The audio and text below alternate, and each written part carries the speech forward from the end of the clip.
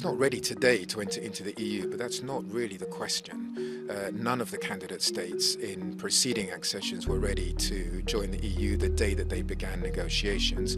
The question is whether the EU can exert su sufficient leverage uh, to make sure that, that the Ukraine is uh, Ukraine is robust institutionally and uh, fully democratic by the time that it is ready to join the European Union. The fact that Ukraine is not ready now is not a reason not to begin the process and try and make sure that process happens as quickly as possible.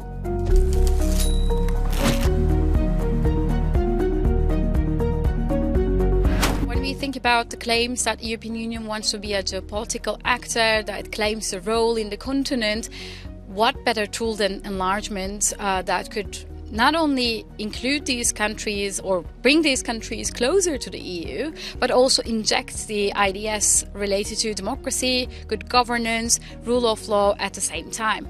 But for that to work, we definitely need to see the light at the end of the tunnel. Because if the candidate countries don't see that there's a real prospect of membership in the future, they will never go for the reforms needed for, for, for membership.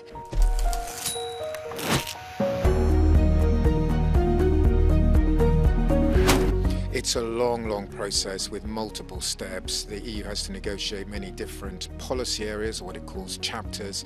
These are very complex, very technical. Um, the, the EU can either decide to slow things down or speed things up to some extent if it's keen to get uh, Ukraine in.